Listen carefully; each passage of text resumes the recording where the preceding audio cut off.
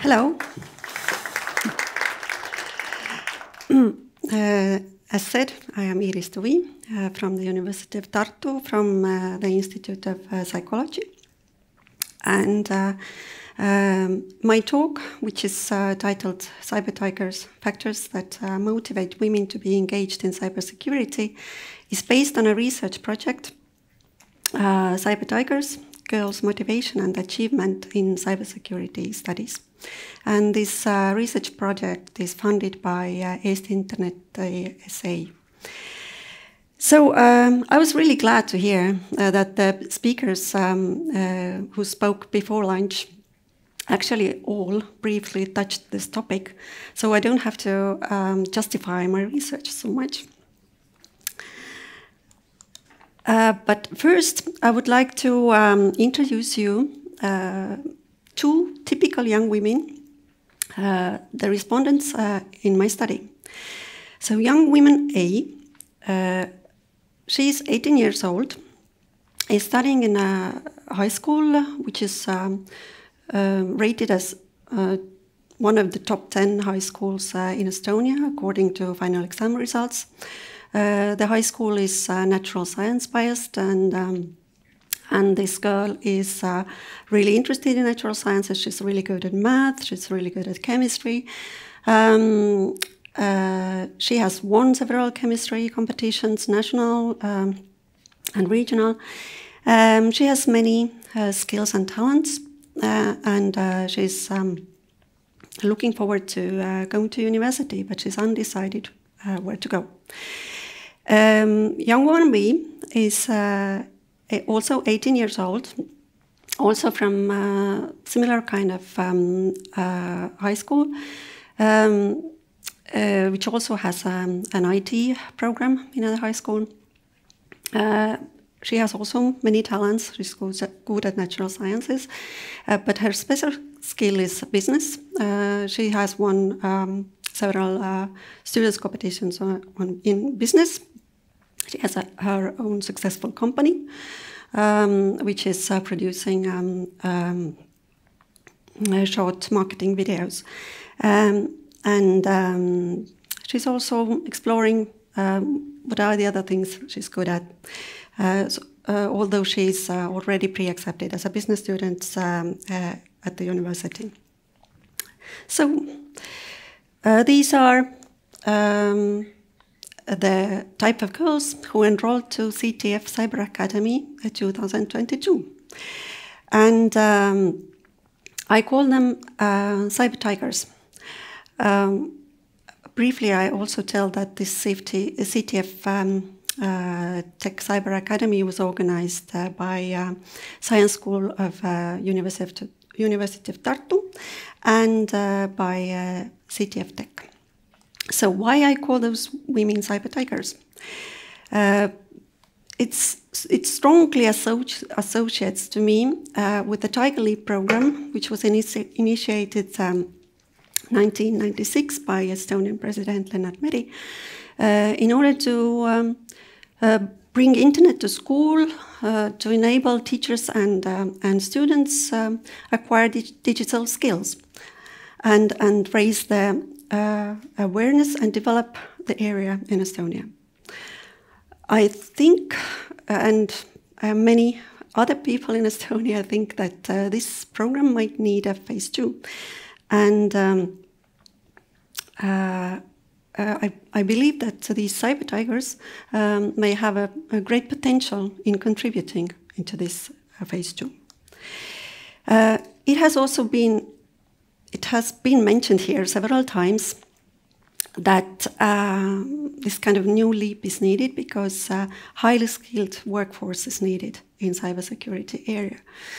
Uh, the workforce gap estimate has already been named here. What, what are the numbers? I, I present here uh, the number, the estimation of, um, which has calculated for Europe, Middle East, and Africa. So the number is um, pretty large which is missing from the industry. Um, another reason why this um, tiger leap might be needed is that the cybersecurity sector is um, currently heavily dominated by men, which means there is more room, room for women. and also um, there are other benefits that occur with um, gender balance, uh, or uh, should we say, organizational diverse, diversity in uh, cybersecurity teams. And um, these um, uh, facts that I bring out here uh, are taken from this report that you can see on the slide. So, um, the bringing more women to the um, uh, cybersecurity sector increases organizational diversity, um, uh, which uh, brings some positive effects, which I have mentioned here. For example, it positively increases uh, employees' experience especially among uh, young workers, which means that they are more satisfied with their uh, work culture, with general uh, work related issues. Uh, organizational diversity also contributes to security teams' success. These teams are more successful, which have, um, for example, better gender balance and it also reduces effectively shortage in workforce.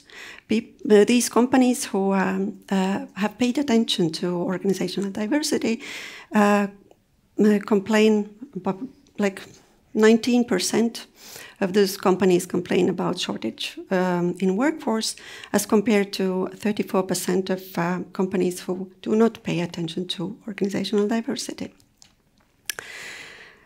So um, uh, this um, mm, my study is not unique in the sense that uh, it has been studied already before, which are the factors that motivate and keep women in IT programs, for example. And I have named those factors here. Uh, a recent, uh, they are taken from a recent review, and um, and uh, these factors uh, include um, like special study programs for women, um, engaging girls already at high schools, uh, campaigns for women, uh, female examples, female lecturers, cre creating community feeling and support, uh, industry, industry networking opportunities, and uh, recruitment um, quotas for genders in case um, there is a program which is uh, for both genders. Um, and um, my study specifically covers um, mm, um I mean, the sample is taken from um, CTF uh, Cyber Academy for Girls 2022 because uh, they, uh, the organizers of this uh, Cyber Academy knowingly took into account all these factors that could motivate girls to come to this program and also stay in this program. In addition to those factors that I showed on the previous slide, also, uh, uh, they offered the, girls to participate uh, in boot camps with boys and also participate um, um, in this uh, cyber battle of Estonia 2002. And uh, the, the recruitment went pretty well. 90 girls registered, but actually less than 20 girls graduated. So um, there is a there are grounds uh, for this um, that uh, we should study those motivational factors deeper. What's happening here? And uh, that's why I conducted this research. Uh, the research has many um, question, research questions, but I'm only going to talk about two of them here. Uh, what factors in this cyber academy uh, were perceived as motivating for girls, and what factors were demotivating? Uh, and for that, we constructed an online uh, questionnaire uh, and we conducted interviews with the girls. And the interviews are especially important to, um, uh, to make the uh, voices of girls to be heard, to take into account their opinions, and they also might give us ideas how to go on from here. The questionnaire uh, was um, formed from like it included statements, and I bring a couple of examples here. Uh, each statement started, I was motivated, and then continued, because the Cyber Academy was only for girls. Or, um, I was motivated by the female guest lecturers from the IT field, and so on. And the girls had to respond using the scale from 1 to 5. Uh, 1 meaning do not know, and 5 uh, I strongly uh, agree.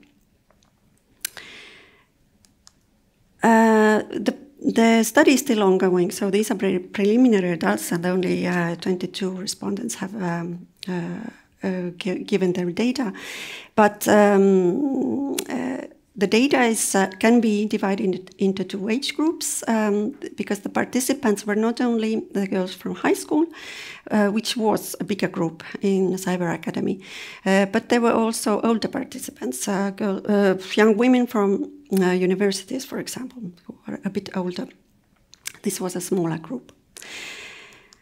Um, and um, here are um, the results. For example, uh, so uh, I want to show in um, uh, age groups uh, how many dropouts there were and how many actually tried to do uh, the Cyber Academy final exam. So the blue bar is dropouts, and the red bar is uh, the ones who attempted to do the, the final exam. So you can see that in younger age group, there were um, mm, it, it was a bigger group, uh, but uh, the divide between dropouts and um, and um, the ones who really did uh, try to do the exam is uh, bigger. Uh, who actually graduated? Uh, this is also um, the results are shown here. divided into two age groups, and you can see that in the younger age group, the number of graduates is even smaller than the ones who uh, try to do the exam. Uh, but the old age group um, is looking pretty much the same. So I don't know how well. No, I maybe you can still read the figure, but um, I wanted to uh, put all the items of the questionnaire mm, on this figure so that you would get an overview of uh, what's the situation here. So each item uh, is representing one motivational factor. And the top items uh, represent uh, those which are statistically significant. Uh, the girls, uh, the, like the, the, really the bigger number of girls responded that this factor motivated them. And you can read this figure in this way that um, the blue bar shows collect collapsed responses from I quite agree uh, to agree. So it forms, a bar, blue bar forms I agree. Uh, the orange bar, I believe, yeah, the orange bar, um, there the answers were collapsed, which was quite disagree and I disagree. Uh, and uh, and the red bar shows not sure or I don't know. So um,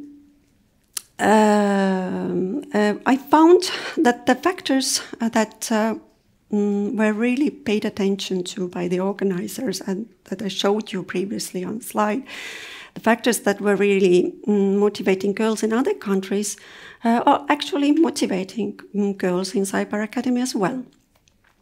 But there were also some um, original factors uh, for Estonian young women. For example, um, they were more motivated when um, mm, they were interested in cybersecurity already before Cyber Academy. And it was very important for them who is organizing the Cyber Academy. Uh, for Estonian girls, it's important that uh, university is involved. So, because the, one of the organizers was uh, Science School of um, uh, University of Tartu. Uh, but they also valued the, the cooperation between private company and uh, the university. Uh, also, it was important for them um, uh, that Cyber Academy was organized only for girls. And here I have to bring in some background from the interviews. It was important for them during the enrolling uh, because it gave them the feeling that um, the level of girls is the same as their level. So they, they kind of felt motivated by it. That um, that uh, probably there are not some really super excellent guys who take all the attention and who dictate the pace. So they know that this type of guys are not going to be there. The girls will be roughly the similar. So that was motivating factor for them. And uh, the female guest lecturers, of course, were important for them. And um, the opportunity to study at their own pace. Uh, they mentioned the tasks were interesting and they were not too challenging for them. And uh, they liked that the intervals between the study sessions were long. And uh, they liked that the um, Cyber Academy included two age groups, not only high school, but also the older uh, um, young women. And the rest of the factors were not so uh, motivating for them. And uh, the fast pace of studies was also not motivating. So, um, so if the factors were motivating for them that were used in order to draw them to the cybersecurity, why, why still, still so many dropouts? And we asked them, uh, and here is the frequency of responses what they gave. Uh, it appears that actually high school is not a very good time to do this kind of uh, program because uh, in high school they are actually already overloaded with, with work. And um, they had the, also the impression from the Cyber Academy, in the beginning of Cyber Academy, that the Cyber Academy may also need a lot of work. So quite many of them said that they didn't, they quit it early because they were overloaded with work and their studies. And the long intervals between study sessions actually took the focus elsewhere because, as you remember, they are brilliant girls with many talents. So it is easy to uh, jump on one thing to another. Um, and uh, those who just said that I quit early gave some other reasons uh, which are below this I quit early said, uh, statement. So the reasons were it was not fun, poor health, not interesting, not enough time. Even they disliked online lectures. So uh, uh, they also gave quite good advice. So this is the voice that they want to be heard, that what can be done differently. Um, and quite like several of them said that everything was great, nothing needs to be improved. Uh, probably those are the three ones that graduated. Uh, uh, but um, uh, but there are also some good points here. For example, it could be uh, that academic credits are given for this program so that they can include it into their high school program, and uh, in that sense, they can balance the workload. And um, they wish they could allocate more time to this program and uh, that the program would be divided into smaller parts so that um, uh, they could do it in smaller bits and also plan the time better. And there are some other ideas that you can grasp from here. So, um,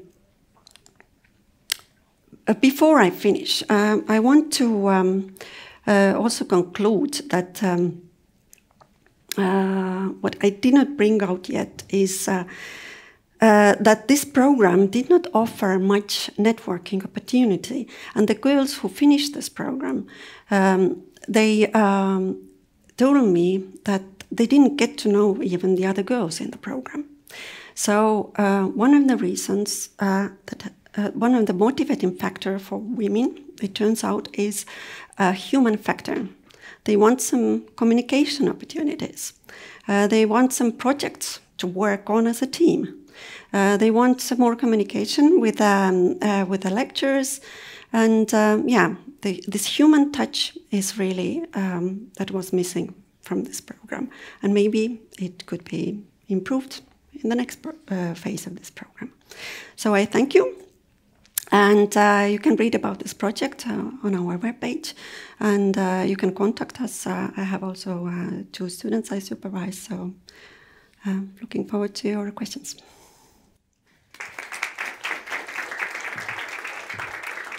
Uh, thank you, Iiris. I actually wanted to ask um, for you, uh, what was actually the most surprising thing that you discovered uh, during your research?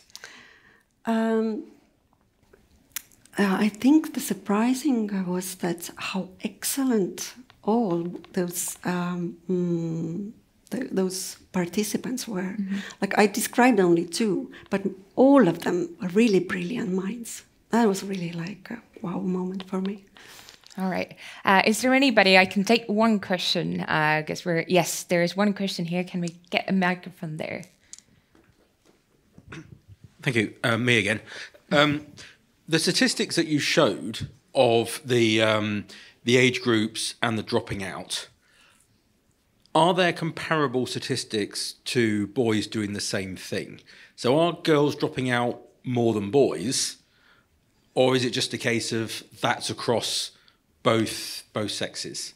Because obviously this is a, an issue that uh, that I'm involved with with my program, in that we get less than ten percent of uh, of ladies joining, um, and yes, I would like I would like more, but it's a case of is it that cybersecurity just doesn't appeal to them? Is it a problem with cybersecurity, or is it a problem with um, stereotyping? Um, and and is is it just a case of this is just how it is? Um, because looking at the other ones of your slides, I was looking at them thinking, well, what can I change with that? And I'm thinking, well, I can't really change any of those if it's just not interested. You know, if they're not interested, or I quit early, or it wasn't interesting, or I didn't like online lectures. Well, that's not that's not gender specific, is it? Uh, right. Uh, I haven't since I didn't have much time, so I didn't include that. Uh, and uh, actually, I haven't really mm, done yet the, the gender comparisons. Uh, so um, I cannot answer right now from the top of my head that what would be the comparative um, uh, percentages with the boys. But I can say about um, uh, losing interest part of the question. Um, well, the interesting thing is that when they entered the program, they were very interested, but they lost um, they lost the in, uh, interest during the program, and um, it was not because it was too hard for them, but uh, it's probably they as as you also saw from their suggestions that um, that the program could be tweaked in a way that they wouldn't lose their interest so quickly. For example, um, more practical tasks. Uh, for example, teamwork, um, and and some other things. So um, they actually said that yes, I quitted it, but and at the time uh, it felt that um, I can do something better with my time, but uh, they did not lose the interest entirely. So some of them said that actually I should go back and look more into it now when I have more time. So um, I wouldn't say that they they're just not interested because these are the type of girls who are, potentially the most interested because they are like really strong in logical reasoning. They like that kind of stuff.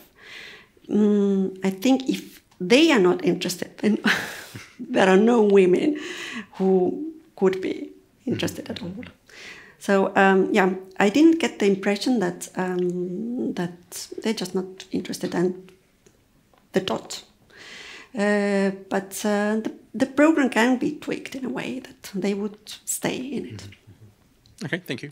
Thank you. And thank you so much, Iiris, for uh, your overview of your research.